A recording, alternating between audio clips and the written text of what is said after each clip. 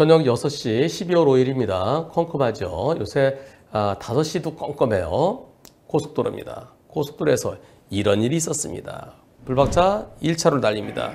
시속 한 90 정도라고 그러시는데요. 저 앞에 원에서 뭐 2차로 비상등 기차가 있네요. 1차로 장 이제 지나갔어요. 그런데 어 이거 뭐야? 뭐 하는 거야?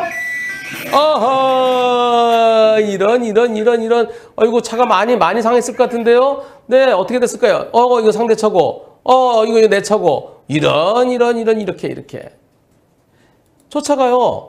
자, 저 차 2차로 있었어요. 2차로 있었는데 1차로 차 지나가요. 내 앞에 가는 차 1차로 지나갑니다. 그런데 나도 그냥 지나가면 되는 거죠. 저 2차로 차가 좀 천천히 가나 보다. 그런데 어, 1차로 차 지나갔죠? 내 앞에 차? 어, 이때 뭐야? 이런 왜 왜 왜 걸쳐 있어? 이거 어떻게 된 거야? 어떻게 된 거예요?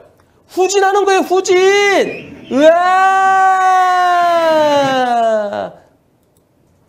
아니 왜 후진했나 했더니 2차를 했던 차가 이렇게 뒤로 대각선을 후진했어요. 왜 그랬어요? 아 내비가 내비가 안 되더래요. 그래서 갓길로 뺀다는 게 오히려 중앙선 쪽으로 뺐대요. 이번 사고 어떻습니까? 지금 보험사에서는 후진차 60, 불박차 40이라고 그런답니다. 60대 40 맞습니까? 70대 30입니까? 80대 20입니까? 90대 10입니까? 100대 빵입니까? 투표 시작. 2차로 했던 차가 그러니까 내 앞에 간 차는 1차로 그냥 갔잖아요. 근데 2차로 했던 차가 비상등 켜고 후진한 거예요. 어, 내가 그 차 발견했을 때는 와 몇 메타지 정확히 나네요. 여러분들은 60대 40 적당하다가 4%, 70대 30 4%, 80대 20 20%, 90대 10 24%, 100대 빵 48%. 아니 2차로에 2차로 비상등 켜고 있던 차 그러면 앞에 내 1차로 차도 내 앞에 차도 가고 나도 그냥 가면 되잖아요. 가는데 그 차가 아니 옆에 차 지나가자면 슉 뒤로 뺐어요. 100대 빵이야 마땅할 것 같아요. 만약 그 차가 대각선 나온 게 아니고요. 이분이 그림 그려서 올려주셨어요. 그냥 그 자리에 서 있었다 그러면 그런 60대 40이 될 수도 있죠. 비상등 켜고 서 있으면 저 왜 안 가? 왜 안 가? 그런데 저 차는요. 그림을 이렇게 그려주셨습니다. 이렇게요. 상대 차가 여기에서 여기 있던 차예요. 근데 이렇게 뺀 거예요. 비상등 켜고 으아 내 앞에 내 앞에서 지나갔어요. 나도 이제 갈라는데 으아 으아 으아 으아.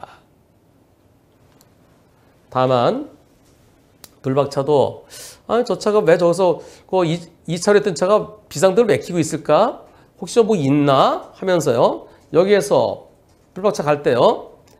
어 저기 저기 저 비상등 기차가 있네. 비상등 저 뭐 있나 보다. 어 비상등이 좀 더 가까워지네. 그 속도를 좀 미리 줄였더라. 뭐 있나 봐. 뭐 있나 봐. 뭐 있나 봐. 했더라면 뭐 있나 봐. 뭐 있나 봐 하면서 미리 미리 대비했더라면 그렇다 그러면 즉 앞에 비상등 기차가 있다는 건 고속도로에 고속도로 차가 쭉 가야 되잖아요. 뭐가 있나 봐. 그래서 미리 조심했더라면 그런 측면에서 불박차한테 한, 한 20%?